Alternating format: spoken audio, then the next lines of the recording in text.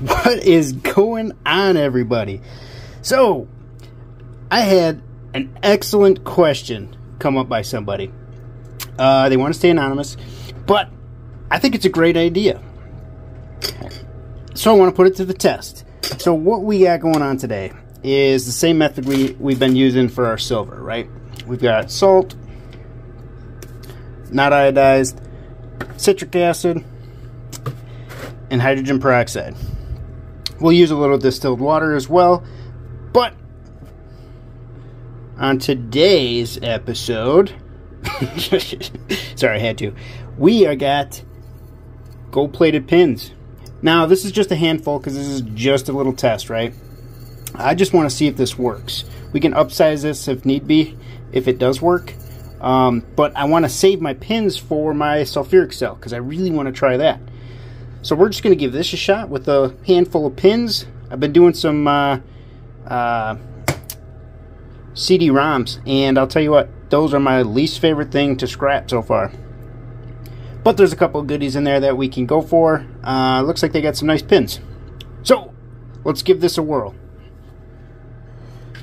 And we're going to start with a little bit of distilled water because we know that if I do just a little bit, or if I do too much hydrogen peroxide, we're to get a boil over. And I just gave you guys a boil over, so I think we're good on that for at least a month. Ah, you can tell me here in the comments. All right, what else do we need for this project? Spoon?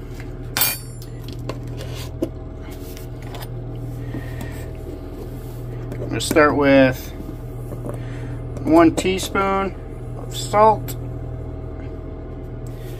ish give or take a little bit. Two tablespoons of citric acid.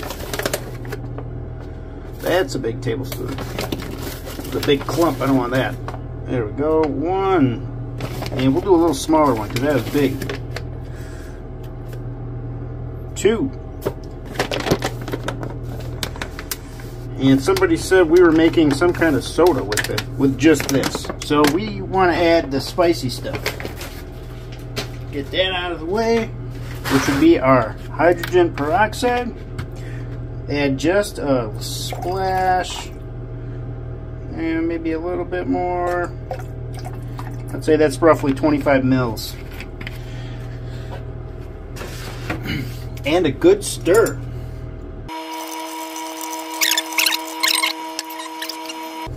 And we're going to keep this separate.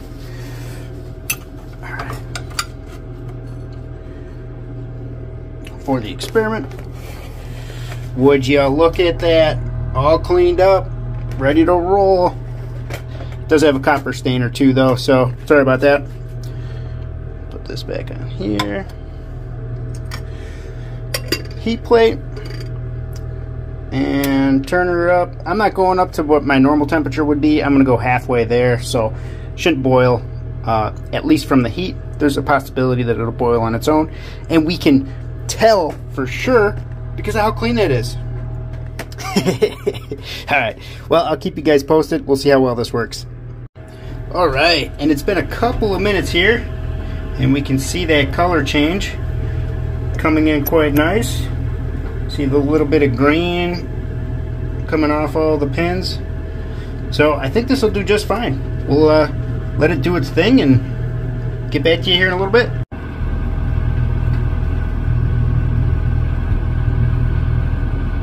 Alright, so this might be a little too soon yet. But I want to see if we have anything floating around yet. Oh yeah couple of gold foils in there floating around already. Let's see if I can zoom in here.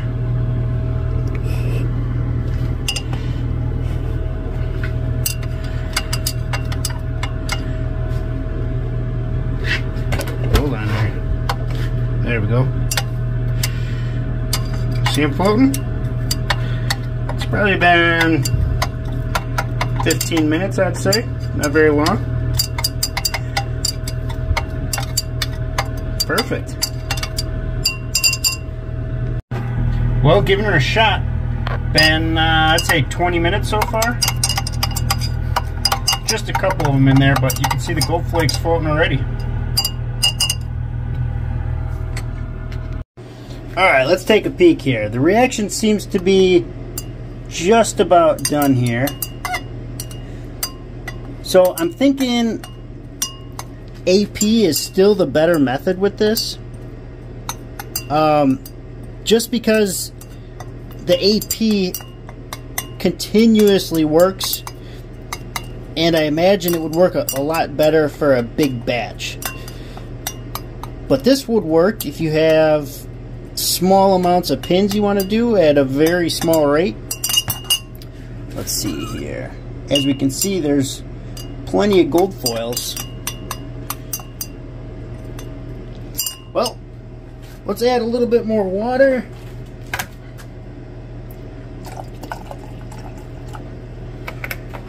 I want to do this quickly so that uh, those crystals stay in solution. A little bit of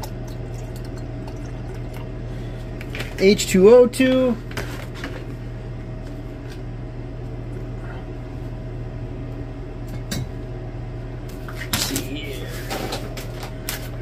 Should have prepared for this a little better. Some citric acid.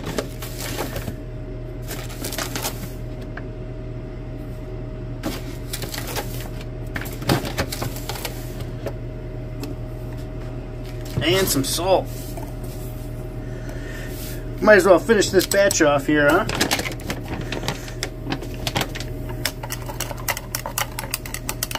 Give it a good stir.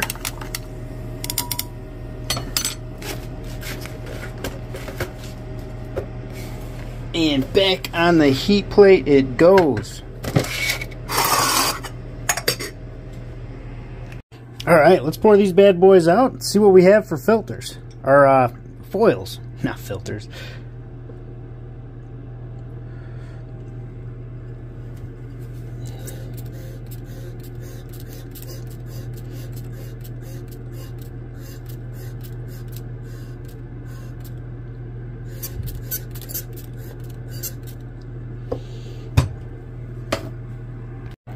And just like that, it works really well. I still think the AP is better. Um, you know, I didn't do, I could have probably done a third one, but you can see there's still some solids left in there.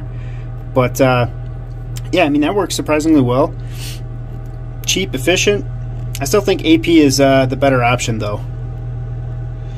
And uh, no sense of putting this small amount of gold into Aqua Regia. So I'll just save this. I'll put it in my filter bin, and uh, we'll collect those tiny little foils when it comes to filter time.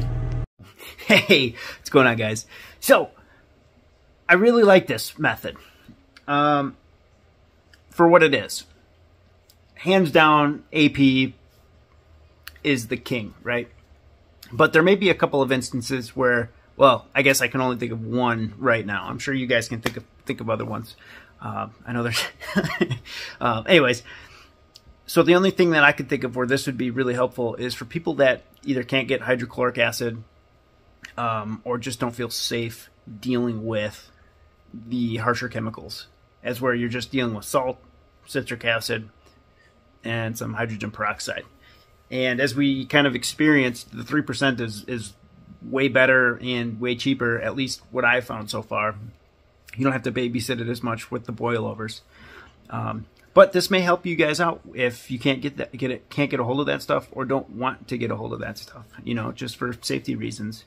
Um, so maybe we do a experiment, start to finish, and uh, we could do gold pins or you know gold fingers. I got stack is growing, and I just do a couple of them just to kind of get the uh, the process down. You know, I, I kind of want to save those for uh, a big batch. But yeah, let me know if that's something you'd be interested in seeing. And then same thing with the dissolving the gold. Uh, I, I, mean, I don't think this method will dissolve the gold. Well, it clearly won't. But um, you know, if we got to do the whole vinegar salt or vinegar method, and then you hit to, to dissolve the gold, then you got basically a whole um, whole process. Which I suppose the vinegar method will kill the base metals too. I don't know. Whatever you guys want to see. If you're interested in that, let me know. If not, we got way a lot of other projects going on. So, um, actually, just wrapping up right now with the nitric boils on the Gold Corner BGAs. So that should be coming out relatively soon. I'm hoping to get it in AR tonight and drop the gold. Well, yeah, AR tonight, drop the gold tonight, and then clean up the gold tomorrow. And uh, so I'm thinking tomorrow's Thursday. Mm, I might have enough time to get it out Thursday. So we'll see if everything goes good. So uh, Friday's video, subscriber video. Uh, if you want to send some stuff in, go ahead, send it in. Definitely interested to see what you guys got. Anything from lab equipment, uh, lab setups, you know, e-waste collections, you know, refining projects, anything like that. If you want to go ahead and send it in, uh, you get you're part of the monthly drawing for for the Fridays uh, subscriber videos. Um, and that's coming up. We're coming up to the end of October, so send those in if you're interested in. And if you're interested in winning silver, we've got the membership still. So we just got five. We did the uh, we we sent out that uh, milestone. That was a one ounce silver round. But I've got five. So now their percentage is at 20. Now we get one or two, and the percentage goes up, right? Because now there's more, well, there's less people in each bracket. So I don't know. Five's a good number for me, but if we get a better number, it's good for you. Or if we get more, you get a higher percentage of getting silver, which is better for you. There we go. That's kind of what I meant to say. But all right. Well, thank you guys so much for watching, and I'll see you in the next one.